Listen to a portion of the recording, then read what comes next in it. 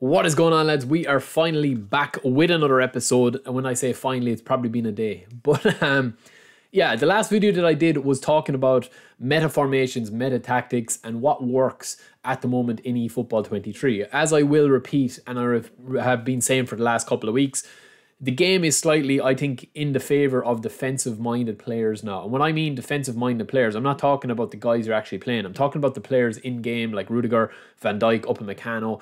Um, pretty much any player that has a very high defensive awareness. You'll see there Rudiger has got like 89. You'll see there that Van Dijk's got 93. Upamecano has got 80. So obviously there is a difference in the different players, such as uh, Makelele with 90 or whatever. Um, and that is kind of the meta at the moment, I think, right? So to to kind of have the yin to this yang, right, and have the anti-meta, I have got three formations that I think will work to be able to kind of like um, kind of break that meta formation. So if you haven't watched my last video, which was talking about the meta formations, um, and you're wondering what it's all about, they're the formations that work most effectively, I think, with the way that the gameplay currently is, and with the with with, with the actual informed players, the players that are dominating online at the moment, such as Alaba, Rudiger, Van Dijk, and pretty much anyone who's up in form um, defensively, uh, Rudiger's obviously in A form this week and he's got really good defensive stats. Um, Van Dijk is down, but he is unwavering form. So I have a load of videos covering all of that. But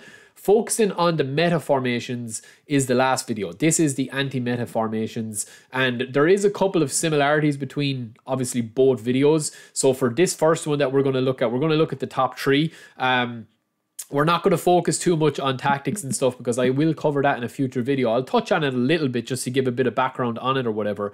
But the main thing you need to focus on at the moment, if you are struggling to play online and you're finding that your playstyle isn't being rewarded, or you're finding that you're really struggling against guys that are playing extremely direct, you know, like literally the game is favoring people that just like pass, pass, pass, like literally one touch pass, um, you know, or maybe touch and go, and that they barely have the ball for like more than a second. You know what I mean? They're not dribbling, they're not turning, they're not slowing down the pace, they're not changing the acceleration of the players. It's literally just pass, pass, pass, pass, pass. And if you are a good player and you can do that very effectively, very efficiently, and very quickly without getting caught in possession, you're going to win more often than not. You know, so you're going to dominate other play, other players, um, especially if you get up to divisions. So for this formation and for this video, I think it's as equally important uh, the players that you have in your team rather than the last video. It's all about kind of the formation and stuff. This video is important to have the positioning and the formations and the individual tactics and stuff of players. But I think that the actual personnel, your starting 11, is key if you want to stop somebody from absolutely dominating you. Or if you find that you're struggling against like a 4 3 3, um, uh, where you've got three strikers to contend with this is kind of, you know, these formations can kind of stop that. So the first thing that we are going to look at is a 5-3-2. Now we did have a 5-3-2 or a 5-2-3 uh, meta formation in the other video, so check that out as well. But for this 5-3-2, all we're going to be focusing on here is having a flat 5 at the back, and then we're going to be attacking with Alaba in our individual instructions. We're going to go to anchoring on uh, Alaba here, but then our attack is also going to be offensive with um, Kimmich, our right back. Now we can switch this around if you want to attack with Alaba and be defensive with Kimmich, or if you want to attack with both, depending on your skill level. And then all we all also want to do is just leave everything the way it is.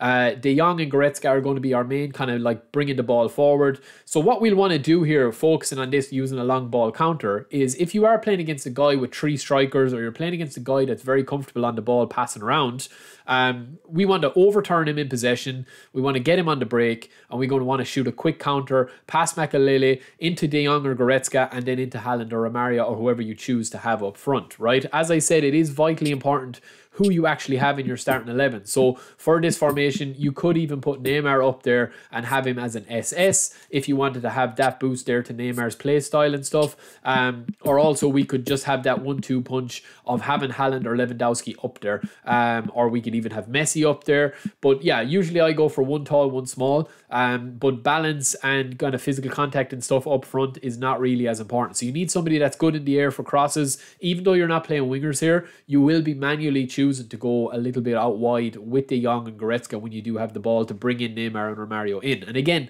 your skill level comes into that. I mean, you know, somebody could use this formation and have no hope with it. Somebody could use this formation and score five, six goals a game. It depends your skill level, but that goes without saying, I suppose. Um, but this does kind of cover a lot because what you're doing here is you have got a very, very, very solid back uh, six here, basically, where De Jong, Goretzka, you can manually drag them back. Makelele is going to always be in that position, and then you've got Rudiger, Upamecano, and Van Dijk. So as long as you're not rushing and you're sticking to the line um, and you're holding your line, uh, you will not really get caught in the break too often with that formation. So moving on to the second one we do have here, uh, we have anti-meta number two.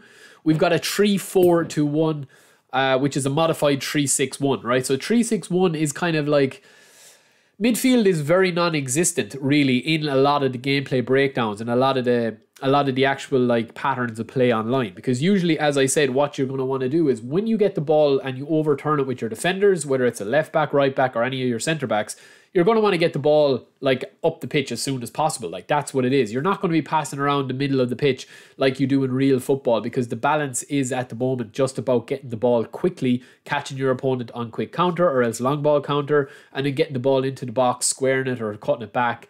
Um, or finesse shotting or whatever. Like the dribbling, the like wing play, that's kind of been a little bit nerfed with the last patch for eFootball 23. Hopefully they do fix it. I'm hoping that they do because that's how I play. Um, but for this, the main thing that you want to do here, right? Because, yeah, you'll say, right, well, why would I play three at the back instead of five at the back? Well, I'll tell you why, right? And it is the main reason here is for these individual instructions. So, what we want to do here is we want to have deep line on Makelele, right? Number one.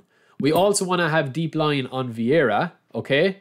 Or else we can have deep line on uh, Kimmich, who's going to be our central midfielder there and he's going to play as a right back or a left back or whatever way you want to put it.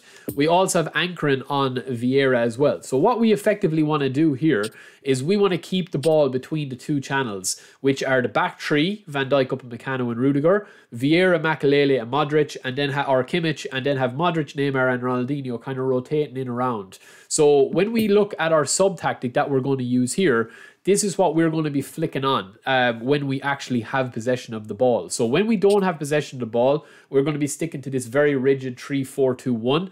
When we do have possession of the ball or we're chasing the game or we want to get an early lead, um, we're going to be like bringing in wingers into it or like left and right midfielders. So what we will be doing with this one is with the sub tactic, we are going to be moving Neymar out here and we're going to be putting Modric in here, and we're going to have Neymar on that left midfielder position. Kimmich is still going to stay there. And with this individual instructions, then, because we are using the sub tactic here, with this formation as well, with this sub tactic, we're going to have anchoring on Vieira, we're going to have deep line on Vieira, and then what we're also going to do is put deep line on um, Kimmich as a right back. So Kimmich is going to stay in his position there, and we also can put anchoring on Kimmich as well if we do want uh, to have him in that slot. So when he is in the right midfielder position, we want Kimmich kind of playing more this role here, right? So we have our back, our front three. We're going to want Kimmich here. So when we don't have our sub tactic on, it's going to be like this, right? Where Kimmich is playing CMF, Modric is playing CMF. We're keeping that midfield very solid. We're like stopping the passing lanes go through um, or whatever. We have ball playing players on the pitch as well. Now, one thing I will say as well is that like if you look at Modric's card, and this is what I'm talking about, you need to look at the players and stuff. Modric does have interception, which is very, very, very vital for this uh, formation. But if you do want to have even more cover, you could have somebody like like let's say we could have Alaba in there, right? Alaba is a CMF um, as well. He can play CMF. He's one of the best players in the game, and Alaba has all these all these kind of like um, player skills as well, but he's also got true passing. He's also got a slide tackle, interception, and all that. If we do want to put in somebody that has the blocker as well, we could put that in. Um, but I think that that could be overkill. So I think that that 3 4 uh, 2 1, and then obviously with the sub tactic, we flip that on by pressing our up, up or down in the D pad. I think it's down in the D pad. We're going to take that where we're basically playing with three lines of tree. We've got our back tree, our mid tree, our forward tree, and then Romario up front. So I hope that makes sense to you guys. And then last but not least, this is one I think that is probably one of the most meta at the moment, which is a 5-4-1. Now, the one thing I'll say about this is, right, you are not going to score a lot of goals with this formation, at least breakaway goals. All you want to be doing here is creating very solid chances and be a very patient player. If you're a possession based player, or an out wide based player.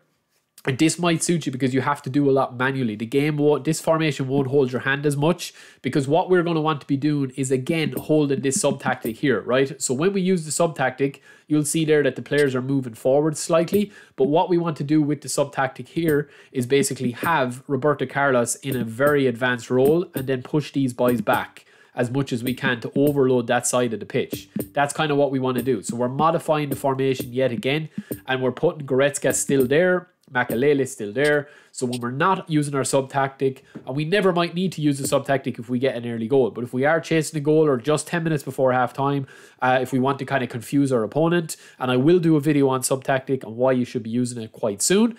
But this is a very kind of like trippy formation because what you do is when you're starting off and somebody's looking at this and they're saying, oh my God, this guy's going to be super, super, super defensive, right? But when you switch to the 4 uh, 1 4 1, you are basically attacking down the left side, overloading the left side of midfield with Carlos and Modric, and then you're going to have Goretzka and Kimmich as your backup there on your right. So you're still keeping your shape of your main players like Makelele, Vieira, and your back three, but you're really attacking with Carlos and keeping him as your kind of like a winger basically. So that is it for another video, lads. Let me know if these help you. Let me know if you've got any suggestions, or let me know if there's a formation that is working really well for you that I haven't really covered yet, and I can go in and review it and see what uh, other people think about it. But yeah, until next time, lads, don't forget to subscribe.